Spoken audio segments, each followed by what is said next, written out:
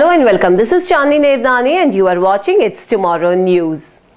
Many killed in Bangladesh as cold wave sweeps through.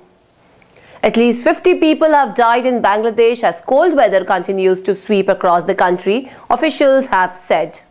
The country's lowest temperature this year was recorded as 4.5 degrees Celsius early on Sunday in Tetulia, a border town in Bangladesh north, the weather officials said.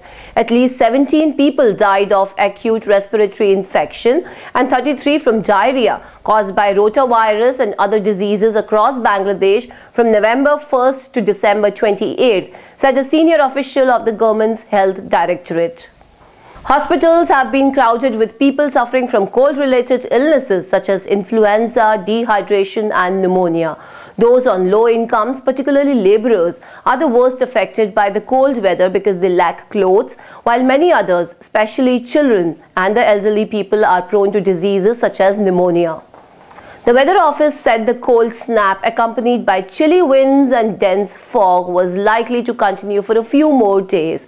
Thick fog forced authorities to divert several flights and delay others, aviation officials said. The number of passengers has reduced sharply as people are avoiding going out.